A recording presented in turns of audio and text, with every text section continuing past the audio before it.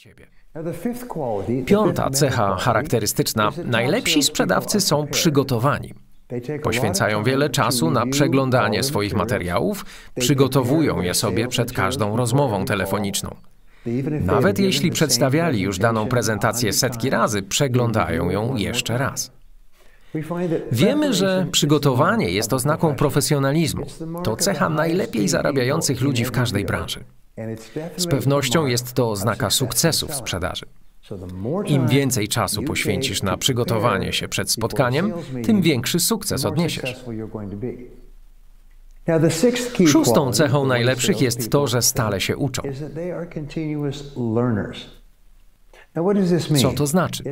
Że uczą się codziennie, ponieważ chcą być najlepsi i widzą, że aby być najlepszym, muszą rozwijać umiejętności.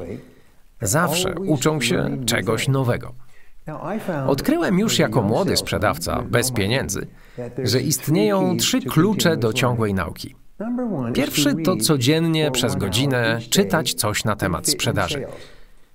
Czytaj godzinę dziennie, a efektem będzie mniej więcej jedna książka tygodniowo, to znaczy 50 książek rocznie.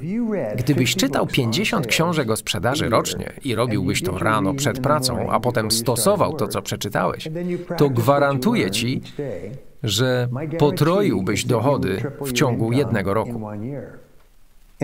Każdy, kogo tego uczę, wraca później i mówi: Nie, nie, potroiłem dochody w jeden miesiąc.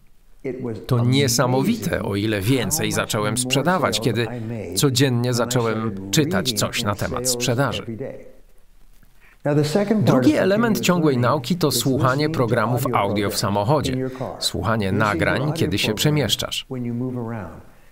Słuchanie programów audio to jeden z najlepszych sposobów na odniesienie sukcesu na świecie. A tak na marginesie, mamy trzy świetne nowe płyty dla Ciebie. Opowiem Ci o nich nieco później. Trzeci klucz do ciągłej nauki to uczestniczenie w każdym seminarium czy warsztacie, jakie uda Ci się znaleźć. Widzisz, większość ludzi, tych nieodnoszących sukcesy, kiedy dorasta, chodzi do szkoły i ktoś inny dba o ich edukację. Są wtedy niemal jak dzieci, które przychodzą, siadają i odbierają edukację pasywnie. Kiedy ci ludzie dorastają, wciąż myślą, jeśli mam się nauczyć czegoś nowego, to ktoś inny powinien mnie tego nauczyć. A to nieprawda. Kiedy kończysz szkołę, odpowiedzialność za Twoją edukację odwraca się zupełnie. Do końca życia to Ty sam jesteś za nią odpowiedzialny. Twoje dochody zależą od Twojej wiedzy i umiejętności. Możesz je rozwijać bez żadnych ograniczeń, co znaczy, że Twoje dochody w tym zawodzie także nie mają ograniczeń, o ile stale uczysz się nowych umiejętności. Siódmą cechą najlepszych sprzedawców jest ich odpowiedzialność. Biorą na siebie dużą odpowiedzialność za własny sukces. Rozumieją, że wszystko, co ich spotyka, dzieje się przez nich samych, a nie przez kogoś innego. To oni odpowiadają za swoją pracę, za swoje wyniki, za dochodowość swoich działań. To oni odpowiadają za swoje priorytety i ciężką pracę przez cały dzień.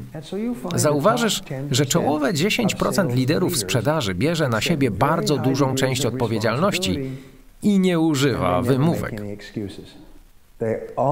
Ci ludzie zawsze biorą odpowiedzialność na siebie i pracują ciężej niż inni.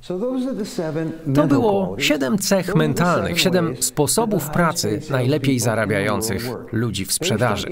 Wynikły z wywiadów, jakie przeprowadzono z ponad 350 tysiącami sprzedawców w okresie 22 lat, co sfinansowały jedne z największych firm na świecie. Po pierwsze, są ambitni, mają ogromny głód sukcesu. Po drugie, są odważni, gotowi, by zmierzyć się ze strachem, dopóki nie zniknie. Po trzecie, są zaangażowani, uwielbiają swoją pracę, swój produkt, a klienci to czują. Po czwarte, są konsultantami. We wszystkim, co robią, uważają się za profesjonalistów wysokiej klasy. Po piąte, są przygotowani, a przygotowanie daje pewność siebie. Czujesz się wtedy silny, bo sprawdziłeś każdy szczegół przed spotkaniem. Po szóste, stale się uczą, codziennie. I po siódme, są odpowiedzialni, co znaczy nie ma wymówek i obwiniania. I tu dochodzimy do drugiej siódemki, siedmiu umiejętności, które okazały się najważniejszymi krokami w profesjonalnej sprzedaży.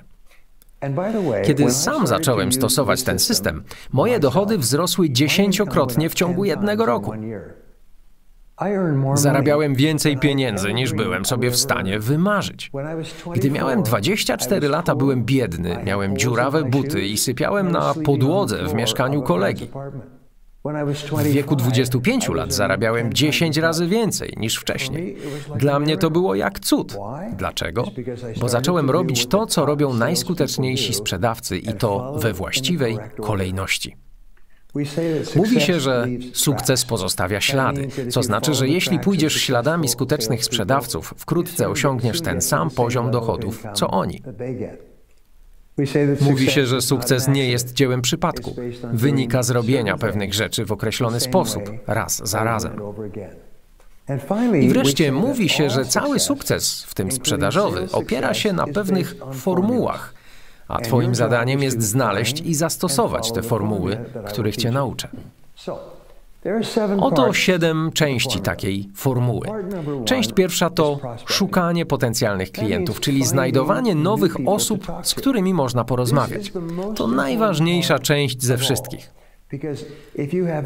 Bo jeśli masz najlepszy produkt na świecie, w najlepszej cenie, ale z nikim o nim nie rozmawiasz, żadna sprzedaż nie będzie mieć miejsca.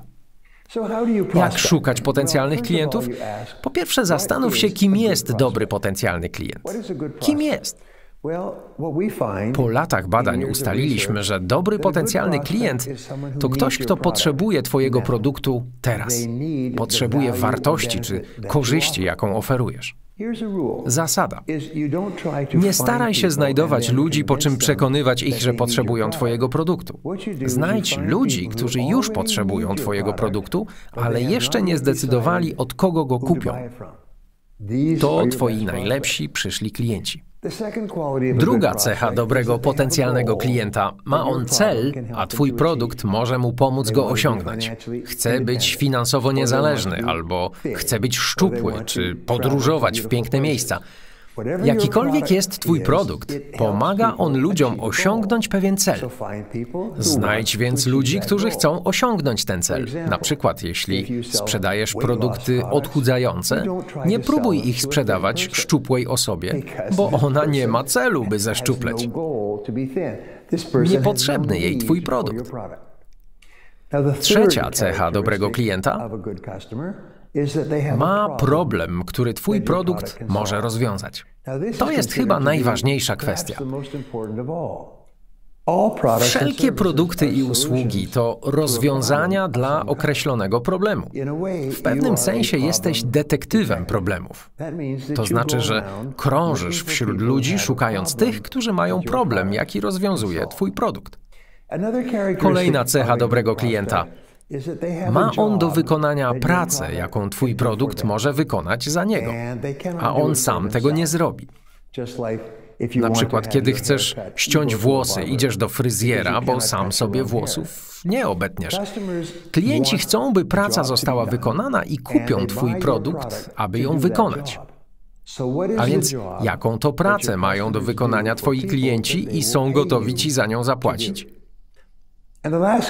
Ostatnia cecha dobrego klienta. Odczuwa on pewien ból czy zmartwienie bądź lęk, a Twój produkt może go uśmierzyć. Podam prosty przykład. Kiedy się ożeniłem i miałem dwójkę dzieci, miałem też poważne zmartwienie. A gdyby tak coś mi się stało i moja żona z dziećmi zostałyby bez pieniędzy? Przyszedł do mnie mój znajomy i powiedział: Widzę, że masz własny biznes, masz żonę i dzieci. Czy masz odpowiednie ubezpieczenie na życie? No, Powiedziałem: Nie, ale potrzebne mi takie ubezpieczenie. Ten człowiek sprzedał mi więc sporą polisę na życie, a ja byłem bardzo zadowolony, bo rozwiązało to jedno z moich największych zmartwień zabezpieczyło moją rodzinę. Jaki więc ból może uśmierzyć Twój produkt?